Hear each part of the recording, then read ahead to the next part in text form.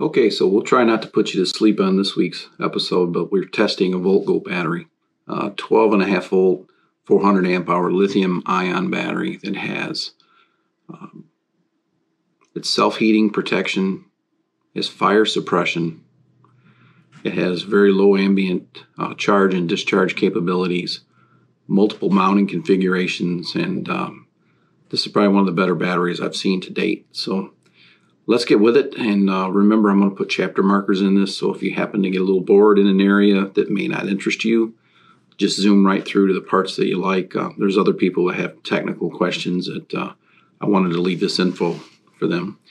Um, price point for this battery, I think this is probably at the 75 percentile on cost. It is not the most expensive, but it is. Um, it's probably the second or uh, second or third from the top in terms of expense. But in terms of versatility and value, this battery gives you everything that other batteries don't. Uh, the built in fire suppression, uh, for me, that's a no brainer. Should something go wrong with a short, um, we've all seen a few videos of lithium powered cars um, bursting into flames, but this has built in fire suppression. And um, correct me in the video comments if, if there's another one out there, I haven't seen it. So without further ado, let's kick this thing off and uh, let's get down inside this battery and see how it works. So uh, thanks for watching. Don't forget to like and subscribe. So let's go.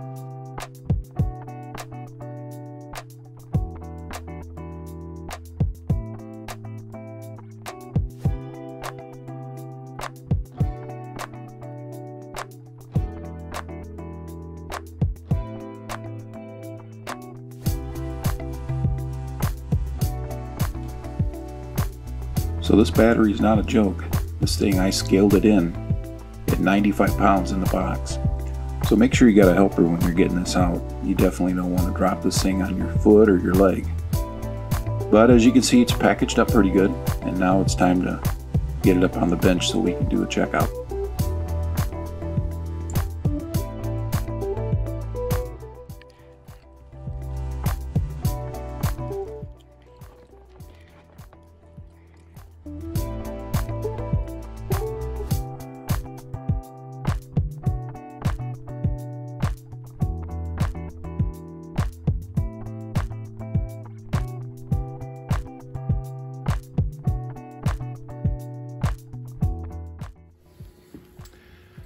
Right, so welcome back. It's the next day and we got our uh, battery all charged up.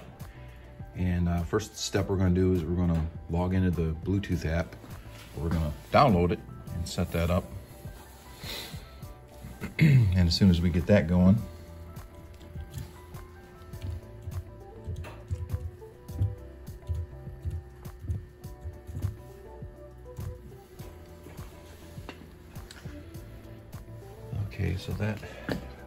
going to download for us. VoltGo Bluetooth.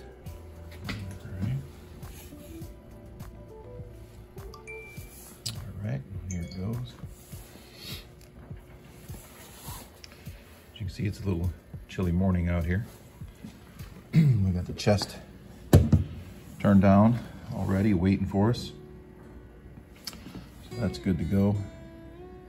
Now I, I printed out the manual and I left it downstairs, so I may have to cut this video up and go see, but look like it's seeing, it's seeing a bunch of equipment already. So that's fantastic, that's good news. So from what I remember reading, you have to know which Bluetooth it's seeing. And from what I understand, yeah, there it is. It's got a Bluetooth ID on it. See, so it's got ZT Okay, and it ends in 67. So we're gonna see if we can find that one. And uh, sure enough, ZT, see that, in 67. That's fantastic. All right, well, that was simple enough. I love it when these companies got their little details figured out. so it's uh, it's communicating already. That's it, quick. So I'm just using a standard iPad, and that's the VoltGo battery sitting there.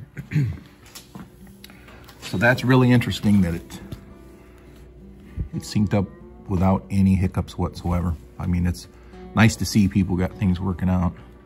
Shows our current temperature, 7C. There's our different cell temperatures. Okay.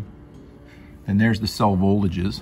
And apparently this has a, a balancer built in, which is really uh, a sweet thing to see because every time you get done with a charge, you can see how close these are. So that's fantastic news. Uh, the other thing about this battery that's really impressive, and a lot of people out there don't realize it, they're probably looking at one of the best batteries on the market. It's versatile. You can mount this on its side. It's got different hardware brackets. This thing can be flipped up on its face. You use these brackets. They would bolt on the back here and secure that to the wall. So many different configurations. 4-aught terminals it'll accommodate. It has two different communication cables. Um, I'm not real familiar with these. Uh, they're CAN bus from what I understand or RS485. Um, from what I read, these are plug and play with a Victron system. So all you Victron lovers, uh, this is something here that's a, a game changer for you because you have a high capacity, high performance battery for a lot less money than the big blue brand that I'm not gonna bring up. This battery uh, is currently in development in the final phases that they're telling me of the um, Underwriter Laboratories approvals, I guess, for the United States and for Canada. Um, this battery has the built-in low ambient heating, so if it gets a little on the cool side, you're not supposed to charge one of these. You can still discharge them for a ways, but you have to be able to keep the cells a certain temperature in order to charge them. And this battery has that covered. Has built-in heating, so that's a game changer. Automatic built-in heating. It's got a high performance BMS system on it to protect itself.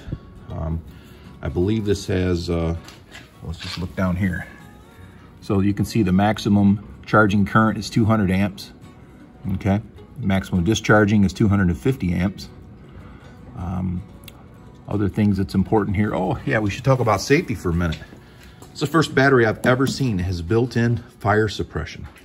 Now their, their smaller version of this battery, the 100 amp hour version. This is a 400, but their 100 amp hour version has got all the certs on it already.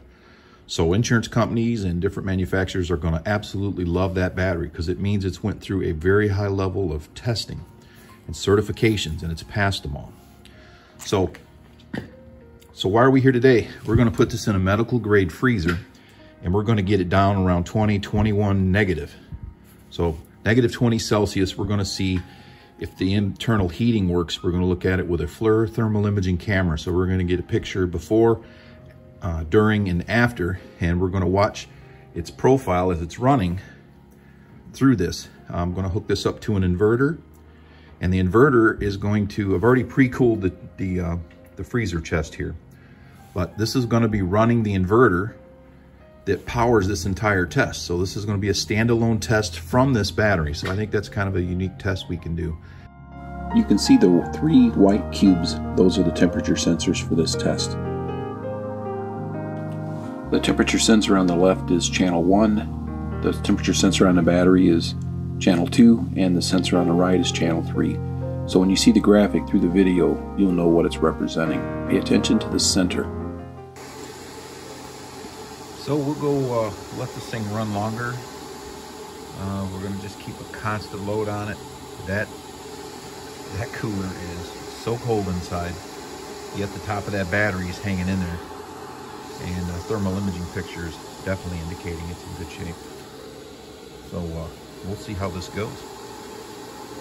All right, I think it's time for some coffee because it's definitely cold out here. So one of the things I noticed that the compressor as it kicked on and off, we wouldn't have a constant draw. So I plugged in a small little electric heater and uh, that seemed to keep a constant load running.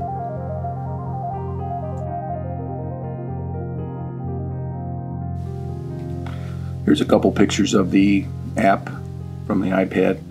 At the beginning of the test, I just wanted to show the internal cell temperatures. They didn't change much either. It's very cold in this freezer. Um, I've had this door open for a few minutes getting these photographs.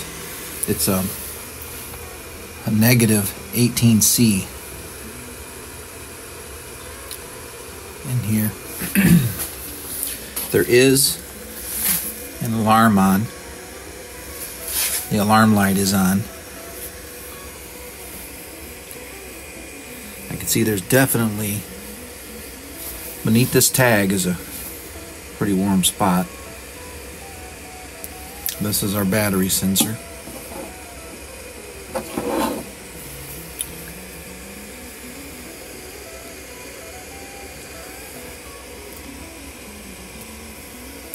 It's hard to tell, but it almost looks like there's a heat strip running through here.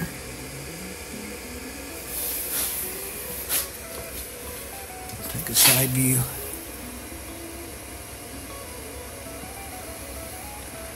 That could be the reflection of the shop light. I'll shade this. No, that's actually thermal.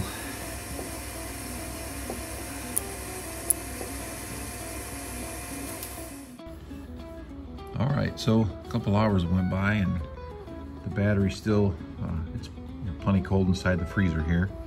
The battery is uh, solid as a rock still.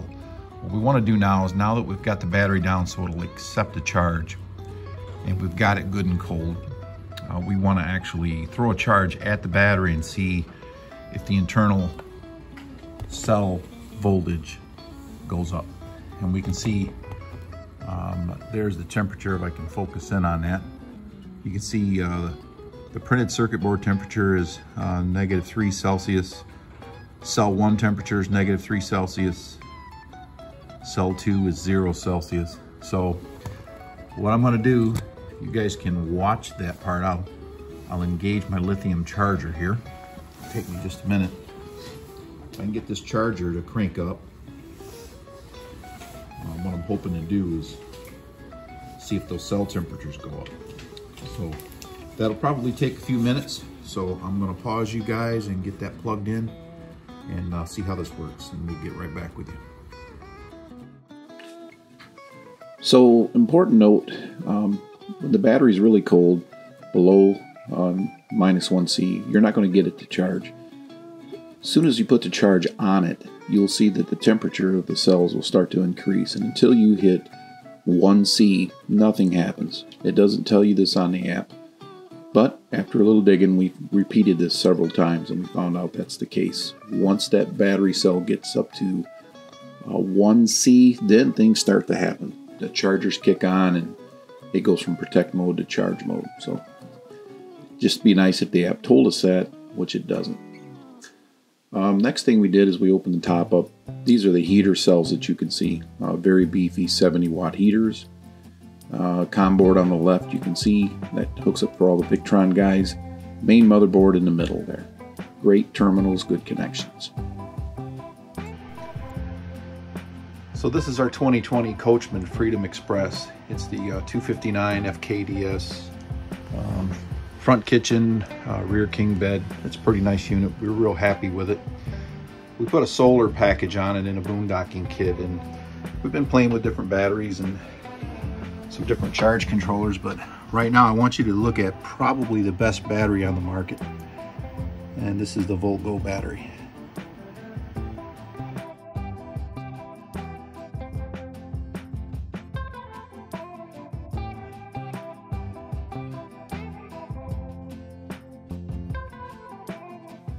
On the left, we have two batteries that sum up to 400 amp hours of battery capacity, and on the right, we have a single battery with 400 amp hours. Notice the size difference.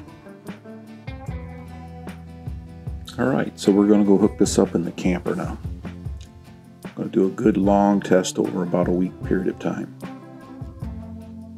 Don't forget to uh, stop by the channel here and hit the like and subscribe button for other videos. So our camper, we have um, 1,000 watts of solar on the roof, and we have a 3,000 watt inverter, and we've got a Renogy system here to where we can uh, monitor everything remotely and data log. And uh, we did just that with this Voltgo battery. We ran it through the paces from uh, fully discharged to uh, full charge using solar, and we've also used the solar slash inverter to charge at the same time so we could throw a we did about 110 amps is the best we could do in the Michigan sun but uh, after running this thing through several cycles the best I could get out of this battery even though it says it's a 400 amp hour battery, about the highest I could get was about a 409 amp hour use out of it, which is great. It's it's better than the nameplate. Um, the app is really handy. As you can see, it, it shows you how the cells balance, and they are extremely close. Uh, as we already know about all the temperatures uh, inside the RV, um, it stays toasty warm in there, but uh, you know it's it's hard to run a load test and impress anybody because the battery has been proven over and over by other YouTubers to deliver uh, point blank exactly what the nameplate says. So uh, no surprise here. I don't want to bore you guys with a week long test. Uh, this thing really delivered properly. So um, if you have a Victron system, I think this battery would really be a great benefit for you to hook up. Um, the only way I can communicate to the battery is with the Bluetooth option, which is fine. Um, no surprises, it, it works as directed.